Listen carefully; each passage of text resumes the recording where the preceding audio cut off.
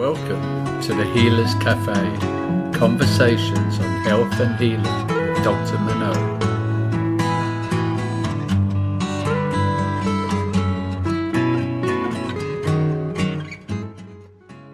So, welcome to the Healers Cafe. And today I have with me Danielle Zinaich, and she is a homeopath um, with an extensive education. Now she's a registered member of the Royal Society of Homeopaths. So it's U, UK RSHom is the um, the the degree that you get at, at the end of that. And um, well, we're going to talk about homeopathy, uh, one of my favorite subjects. so, first of all, um, welcome uh, to this podcast, and maybe tell us a little bit how you um, how you found homeopathy and how did or how did it find you, or how, a little bit of your history.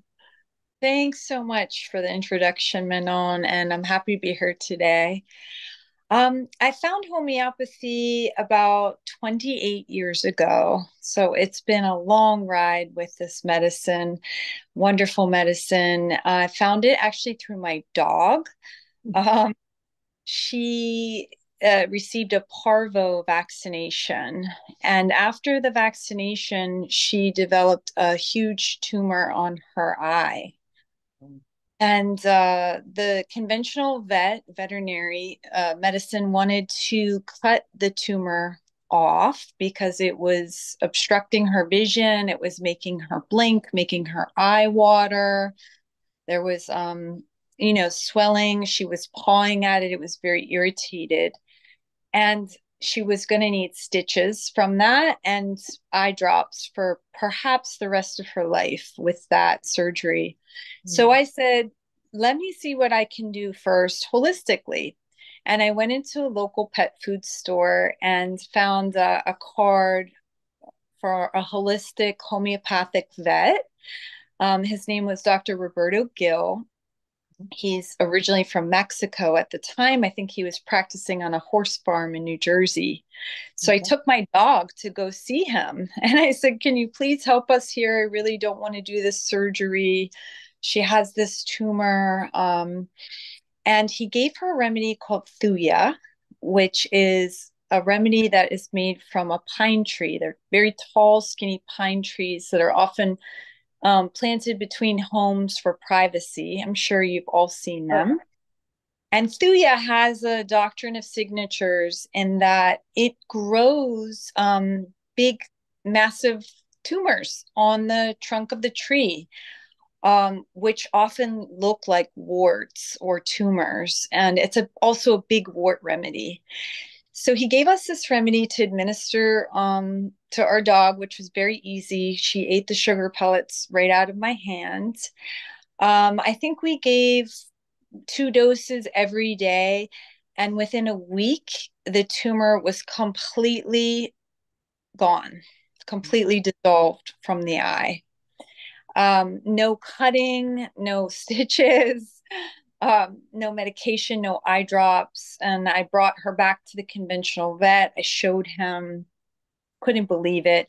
Um, from that moment on, I then switched to a holistic vet, and I was blown away by this medicine. And I said, "What is this? Can can you refer me to a homeopath um, for people?" And he did. He referred me to my uh, homeopath of 28 years. Her name is Sue Anello. She practices in London. Um, she's treated my whole family and she pushed me to become a homeopath. She said, You have a real knack for this. Mm-hmm. Um, loved the way she taught remedies. And I eventually went to the school Center for Homeopathic Education, where she was one of the professors, um, and got my degree, my four year degree. And then this past year, I went back to the same school to get my um, Bachelor of Science honors degree in homeopathy. I did an add on mm-hmm. degree school. Wow, that's dedicated. But um, once you see it work, right, it's very hard to, um, you know, to ignore. You know, and, and I know that in the UK, I forget which uh, journal, medical journal, they they did this. Um,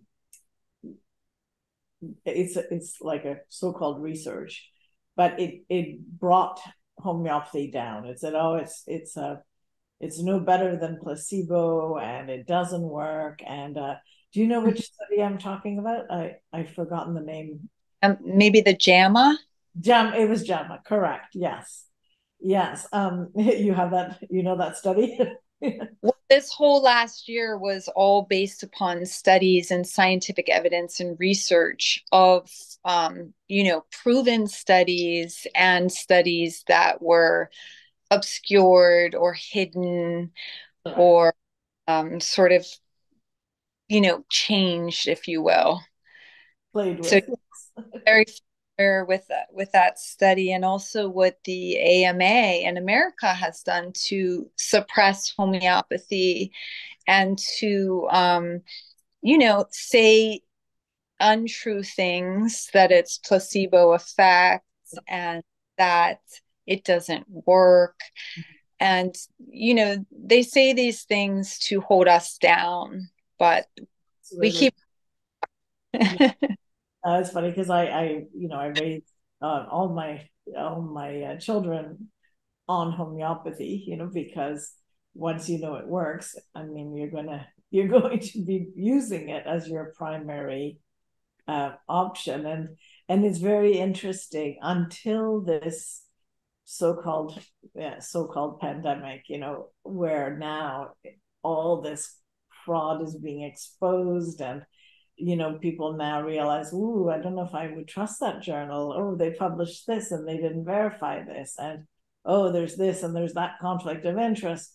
Like, you know, they were all saying, well, you know, you know, mom, I know it's 30 years of practice, but the evidence is not there. And I'm like, okay, you know what? People just sit in my shoes and see what I see, and I'll tell you the evidence is is there. And um you know maybe the research and i'm not a researcher so i you know i i'm i'm not adept at picking up where they've you know how they've falsified or what they've done wrong. I mean mm. some it's obvious you know you give the same remedy to everyone for a name condition.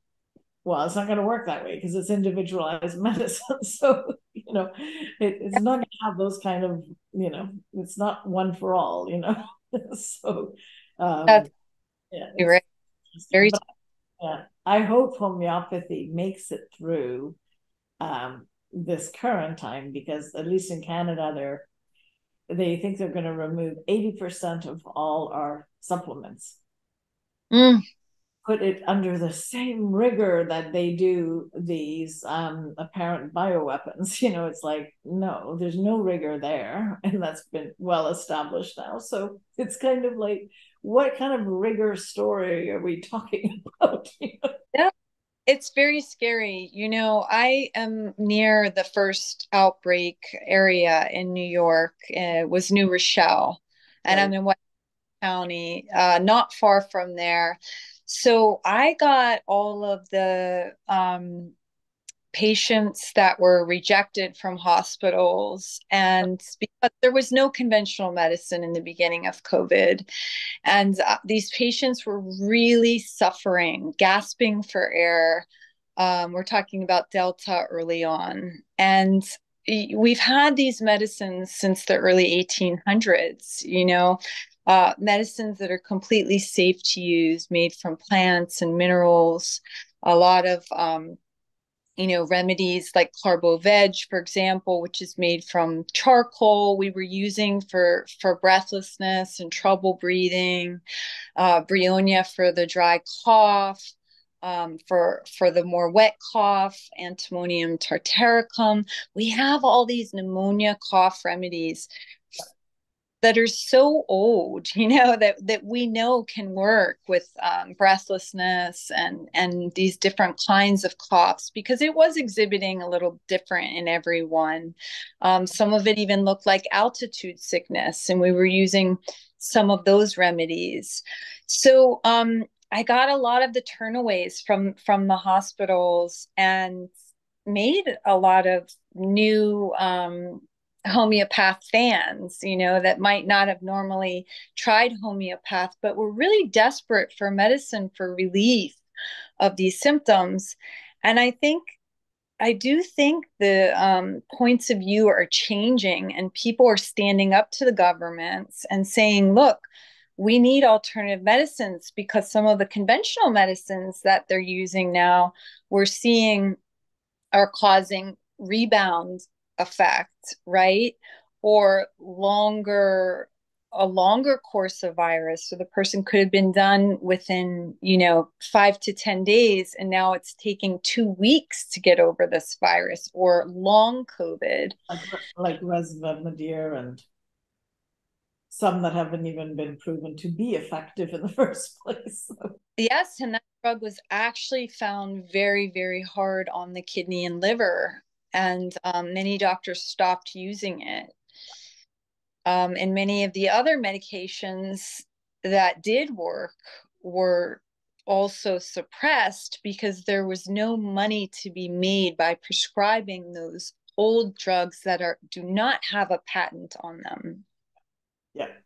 Well, it's it's kind of it's it's clear and getting clearer and clearer what the what is actually happening and and so when you um, offered to speak a bit on homeopathy, I thought this is so perfect because more than ever, people need to look at other things that work that um, that are you know fairly simple. I mean, I don't want to oversimplify it because studying 13 years to get really good at homeopathy wasn't simple, but you know for most of the, the the basic stuff it's it's very easy to to get results. And you know the more the more complicated a, a, case is and the more you need to know about pathology and understanding all that well that's not for the average just pick up a remedy. But you know like you were saying for you know colds and coughs and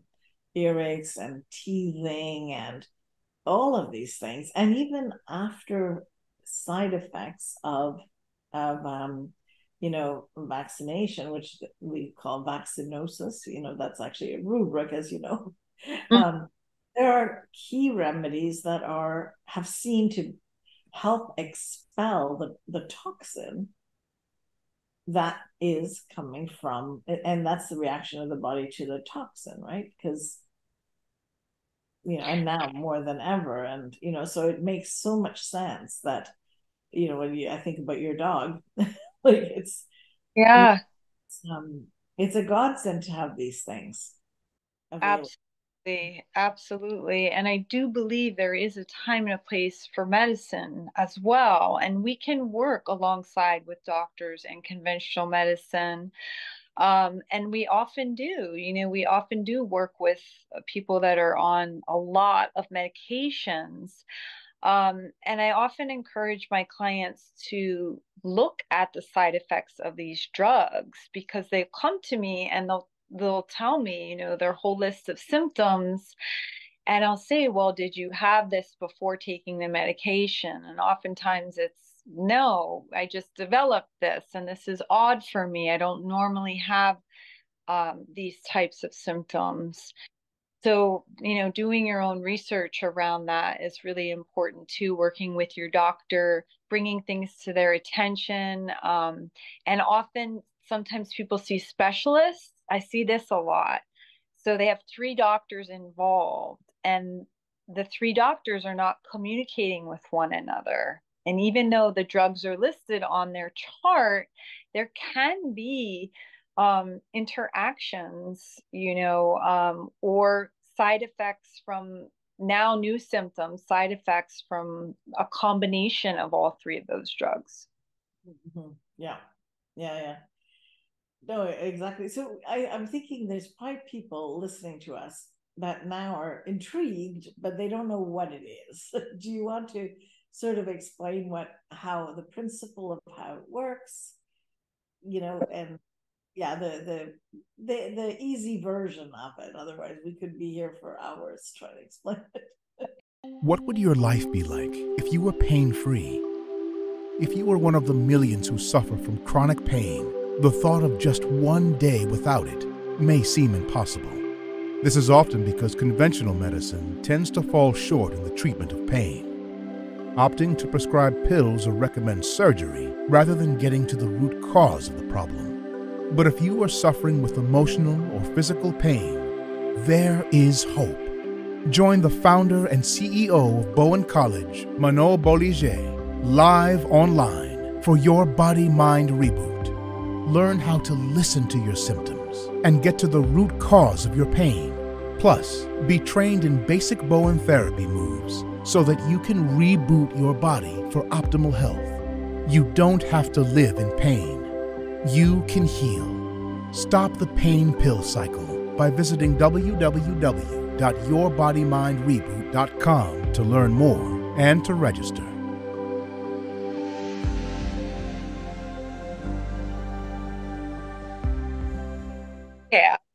Try to simplify it.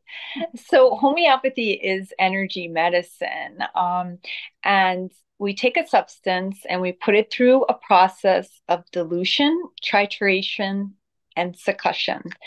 So many times that is just an energetic imprint of that substance. So it's very different from herbal medicine, which is the crude form of the substance. So you actually ingest the plant.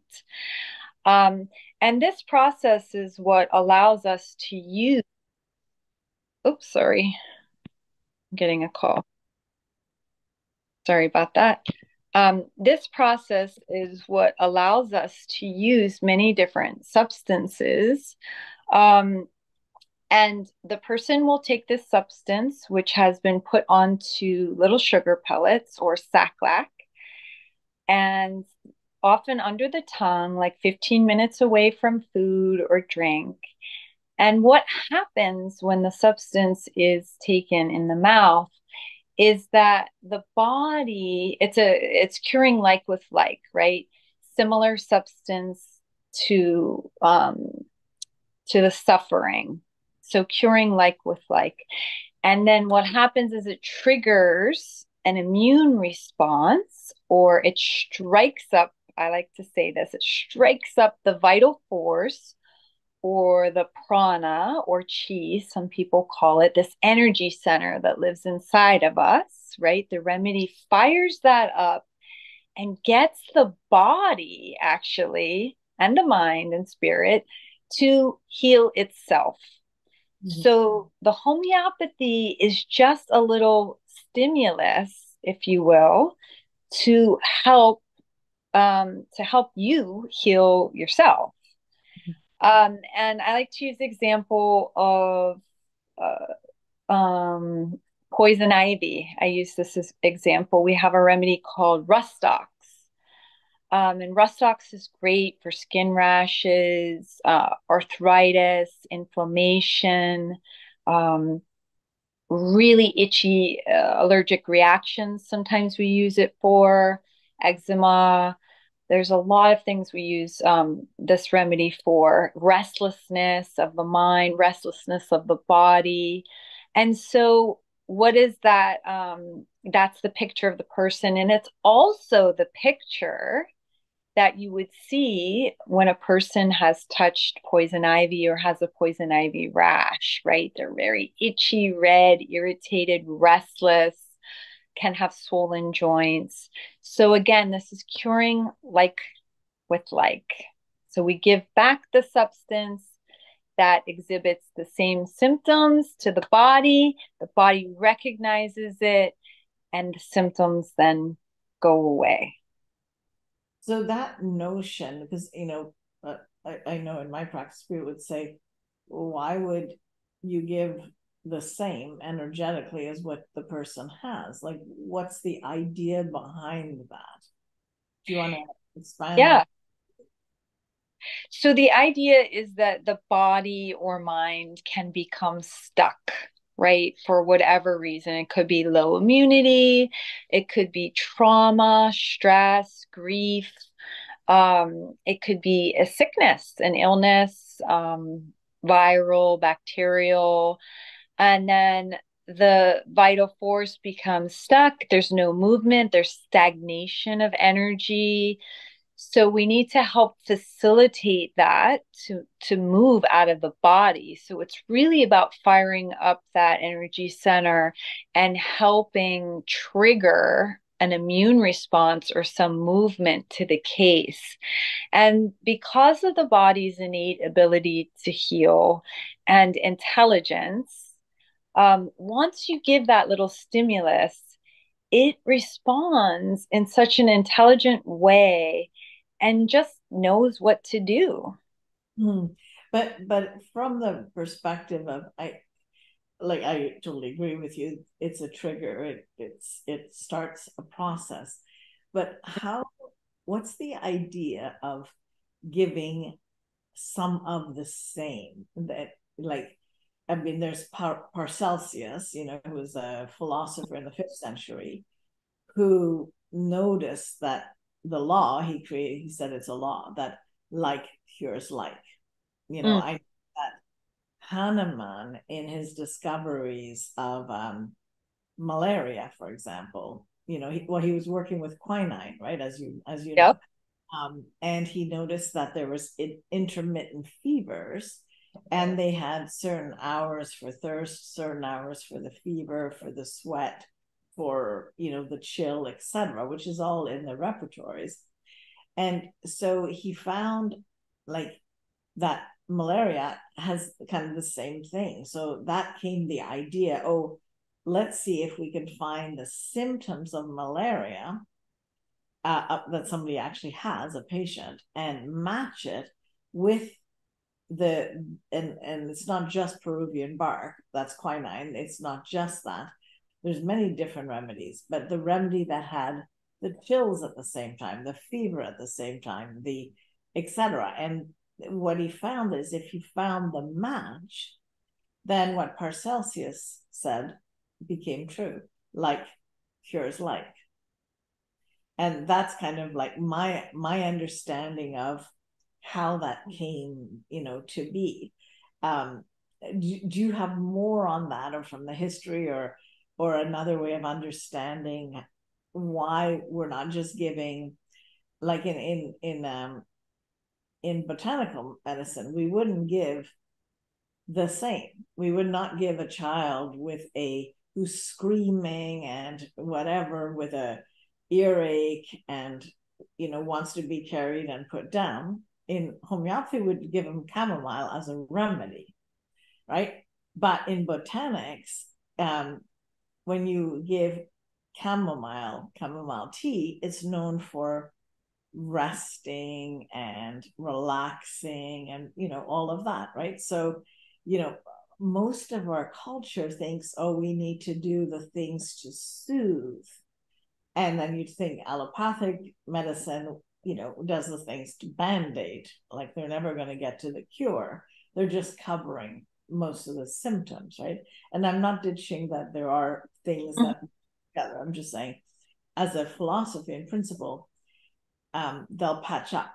And m- most of, I'm not saying botanicals does that, but there's the tendency to to work in the same mindset that you're soothing or you're decreasing inflammation you're the one doing the thing rather than triggering like you said the body to have a response. And and it's like why is more of the same going to do that?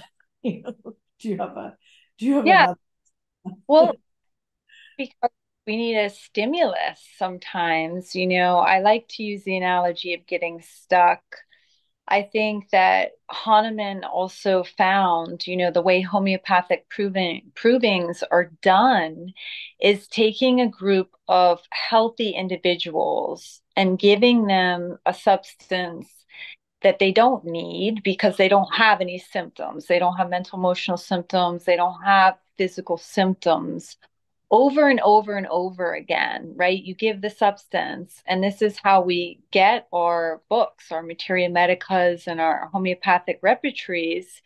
Um, and then they record amongst all of these healthy individuals a common theme of the remedy. So all of these people took the same substance.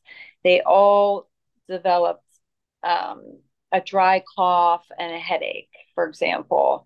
So now this goes into into our books, um, and we can see that this remedy can, you know, when proven, can give this these symptoms, right? So now the individual that's sick, somebody outside of this study mm-hmm. or um, will that has a cough and um, headache, a dry cough and a headache, will now need this remedy, bryonia, for example, which is a plant remedy.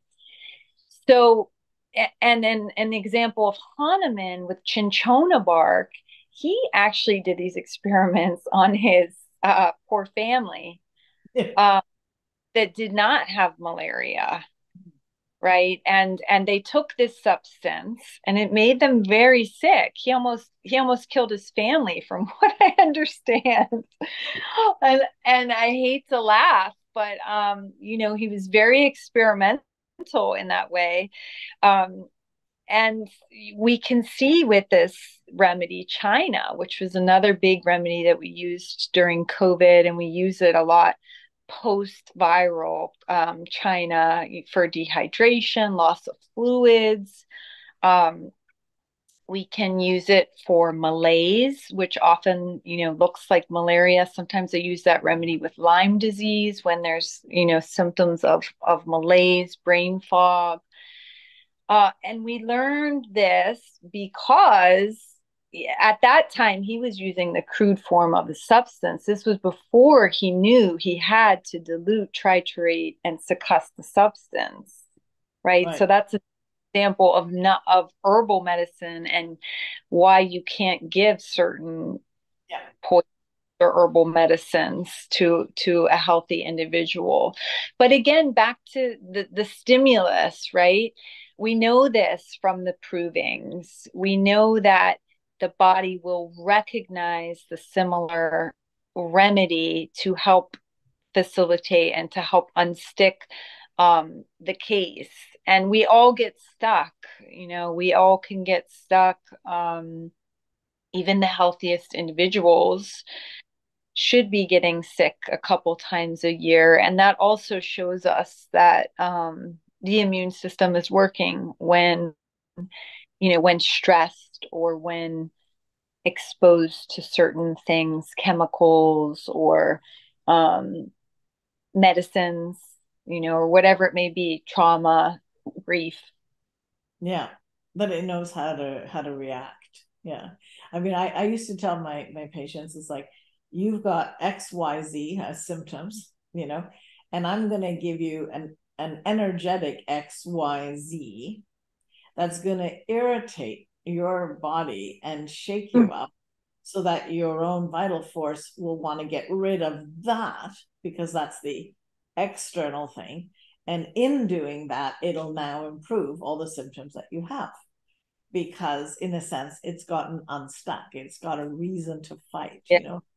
Because if you give the wrong remedy, nothing happens. Like if you just, I don't mean like if you do it as a herb different. But if you're you give the wrong one and the body goes, well, whatever, what do you have to do with me? Nothing. So I'm not going to respond, right? You know, so um I love yeah. like that the analogy. That's that's really good. Yeah, and the body is intelligent. It knows what to do. Yes. Yeah. Uh, you know what? We've talked half an hour. Can you believe it? it's like that was homeopathy. uh, anyway, um, I'll leave you maybe the the last uh, words on it. Um, other than I want to, I just want to say that people who have not discovered homeopathy, go find it. If you can't find it on Google, then look on DuckDuckGo or you know look elsewhere because um, it is clear that we're not having access to all the things that really help us and things that um, don't make immediate money for certain corporations we're going to see less and less unless we say no and put our foot down and actually take our health into our hands. So I'll end with that. I'll give you the last word. Thank you so much, Manon. I completely agree. You know, and I think that this is a very safe, effective mm. alternative. Medicine that people can try, you know, and it's very user friendly, it's very easy. You can you can find advice you know you can ask a homeopath even look i found this remedy how do i use it? And we're happy to help you. Um, you just follow the directions on the bottle you know according to the pharmacy. Every pharmacy is different. Sometimes it's one pellet sometimes it's five pellets and um, and the law of minimum dose is important. You just want to take just a little bit to stimulate the immune system and it, that may be all you need or you may need a few more doses. In a chronic case you may need to keep redosing right? So i would encourage everybody to find this medicine from your local health food store um, find a local homeopath to work with and um, and try it. It's very safe and effective. It's great for um, babies, pregnant moms, all the way through the elderly. There's really no issue that it cannot help. Um, and like I said earlier, it can even help with side effects of, of medication. So I would encourage everybody to try it. It's awesome. I, I can't say enough good stuff about homeopathy. I've devoted my whole life to it. I've been in private practice for 10 years. Um, I feel so blessed to have helped a lot of people with this wonderful medicine. And I continue to study it as we um, learn more remedies and more about homeopathy and its research and scientific evidence and um i just i love it you know i'm so happy to have found to have found it through my dog. If people where where do you work? Where where's your um? Currently i'm practicing out of new york. I do a lot of um facetime uh mostly FaceTime, but I do have some office um, hours in New York, and I'm going to be moving down to Savannah, Georgia, actually. And I'm looking grow my practice down there for any Southerners or anybody near Savannah that wants to come and see me. You can find me on Instagram. I do a lot of posts on there, Danielle Zinaich. And I kind of um, put some fashion posts on there too, because I've been a model in the fashion industry for over 20 years. And um, I treat a lot of people in the fashion industry too for various ailments. And my practice is broad range, anything from colds, allergies, eczema to more chronic disease, autism, cancer, end of life um, difficulties. Okay, well, thank you very much for sharing your knowledge, and um, we'll definitely put your website up there. thank you. It's been a pleasure joining you today. I love the podcast.